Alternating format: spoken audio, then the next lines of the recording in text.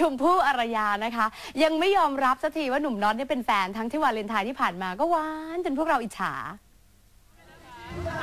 นอกจากจะไม่ได้ทั้งของขวัญและดอกไม้จากไฮโซน็อตเพื่อนหนุ่มคนสนิทในวันวาเลนไทน์ที่ผ่านมาแล้ว สาวชมพู่อารยา ยังต้องเจ็บกระดองใจกับข่าวที่เล็ดลอดออกมาว่า ช่วงนี้หนุ่มน็อตกำลังตามจีบนางแบบหน้าตาใสเอะที่ชื่อโบอยู่ค่ะ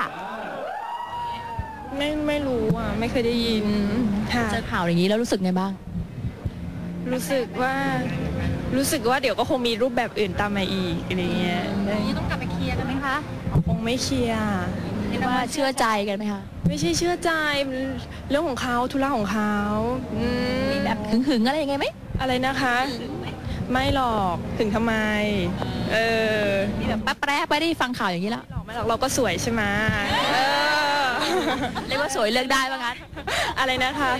ก็ต่างคนต่างเป็นทางเลือกอะค่ะอืมไม่มีใครเลือกใครหรอกคือทุกคนก็ทุกคนก็เป็นฝ่ายเลือกทั้งนั้นส่วนชมก็จะยังไงกับใครก็ได้เหมือนกัน เป็นเพราะความเจ้าชู้ของเขาด้วยหรือเปล่าถึงทำให้ถึงเราไม่สามารถที่จะแบบเปิดตัวเป็นแฟนอะไรอย่างเงี้ยก็เปล่านะ ก็ไม่ได้รู้สึกว่าเขาเจ้าชู้อะไรค่ะ ตอนนี้ชมก็พร้อมเปิดใจให้หนุ่มคนอื่นด้วยใช่ไหมคะ ก็ไม่ได้ปิดโอกาสตัวเอง เพียงแต่ว่าอาจจะแบบ ด้วยข่าวหรือว่าด้วยอะไรหลาย ๆ อย่างก็ ก็ไม่ค่อยจะเข้ามาแล้ว